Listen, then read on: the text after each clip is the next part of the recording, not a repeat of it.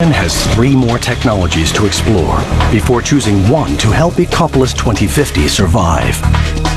Urban farming tackles carbon emissions from trucking food to town. Next, a revolutionary technology to keep that food cool and fresh. Meet the futuristic fridge that makes more noise than a jet plane, but is totally silent. Ecopolis is a typical megacity of 2050. It swarms with 18 million people whose consumption is polluting the planet. Among the biggest hidden causes of its greenhouse emissions, keeping food and drink cold. Nobel scientist Dan Kammen is on a mission to help us survive life in future cities.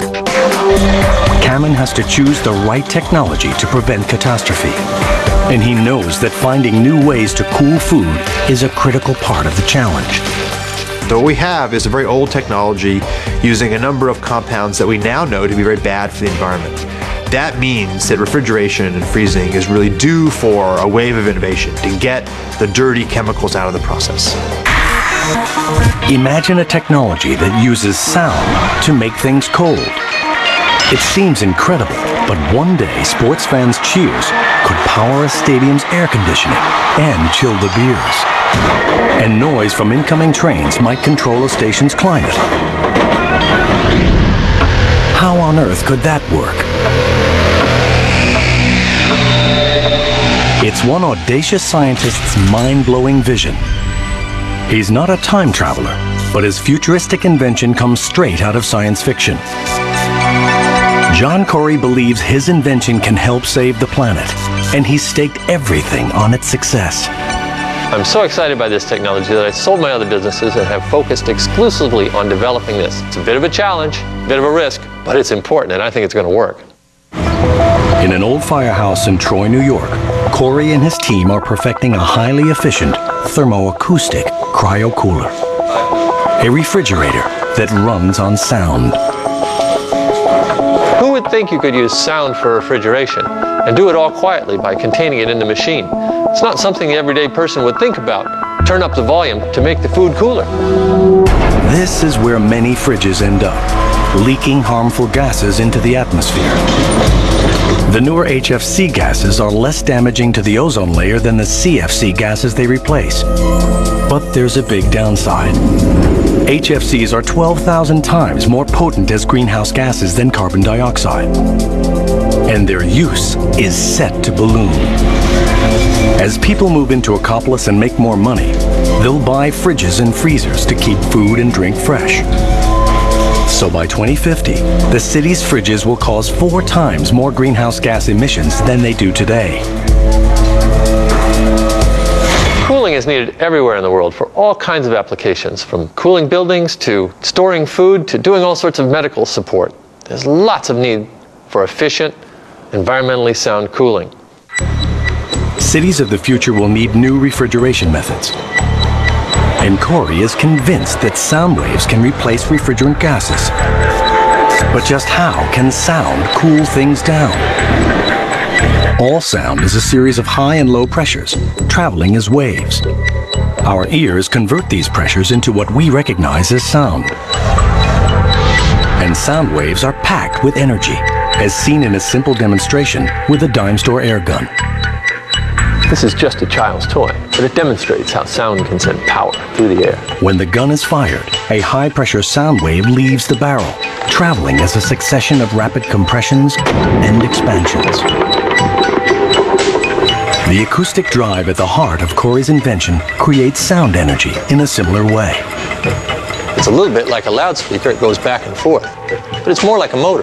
A loudspeaker isn't very efficient because it has to reproduce a wide range of pitches. But we run at one frequency, so we can tune it to a very high efficiency. It's a bit like a loudspeaker on steroids. There is a problem. The sound level needed to drive the cooling process is colossal. 50 decibels is normal conversational voice. 120 decibels, the sound of a loud rock concert. It's a threshold of pain. It's like a rifle shot next to your head.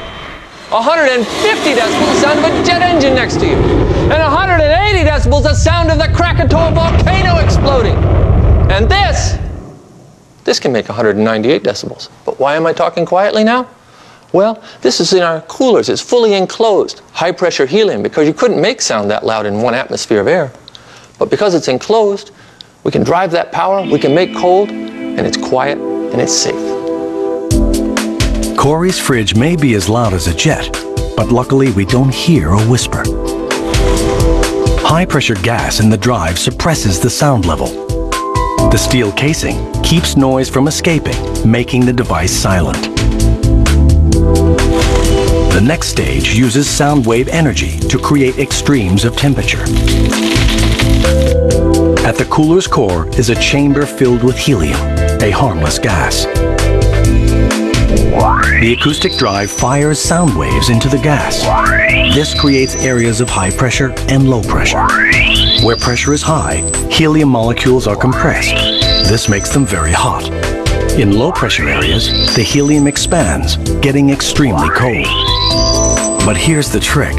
The chamber is designed so most of the compression happens at one end, keeping the temperature high there, while most of the expansion happens at the other end, creating extreme cold in that area.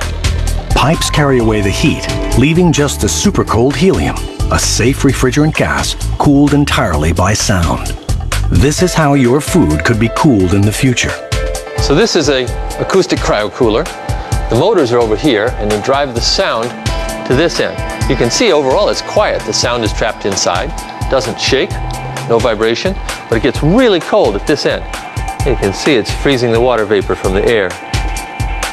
We can measure exactly how cold it is with a special low temperature thermometer, minus 177 Celsius right now. Pretty cold, not quite cold enough to freeze air, but it'll freeze water pretty quick.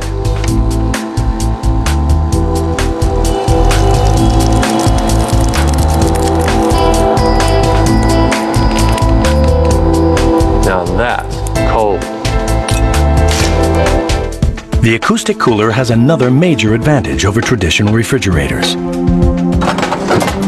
This is a condenser. We don't need this in an acoustic fridge.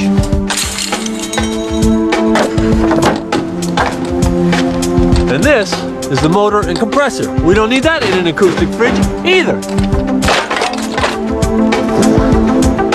And this is the expansion valve. Totally unnecessary. Having no moving parts means the acoustic cooler has a longer lifespan than the old style fridge.